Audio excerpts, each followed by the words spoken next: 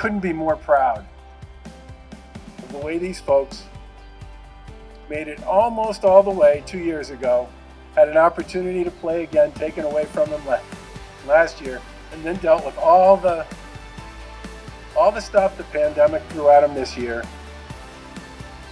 and a really tough game in the semis against Minnesota Duluth to pull this off. And they have made all of us here in Massachusetts so proud of their work, their performance, their excellence, and their determination. Congratulations to all of you. They work hard individually to succeed, to excel in terms of their skills, and to be conditioned and fit to get out there and compete as a singular athlete. It's not just the individual star that each one is, but the star power that comes with a group of individuals like these. This is an incredible team. It's an incredible group of talented individuals who loved and supported each other all the way to the finish.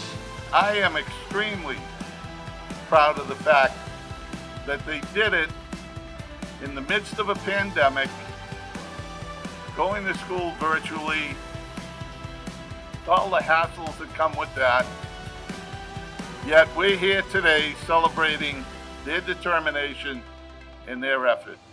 The buzz around Western Mass, around Amherst, around Hadley about this team is extraordinary. When you are talking to neighbors, constituents, out to get a coffee, everybody's saying, did you see the game last night? Did you see the goal? Everybody's talking about it.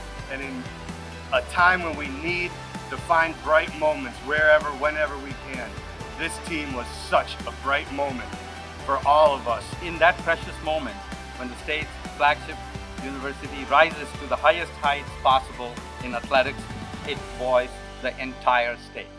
And it has really been such a pleasure to watch these young men lead this program from the bottom of Hockey East to the top of collegiate hockey. These student athletes represent everything that makes UMass great. Hard work, determination, and a strive for excellence.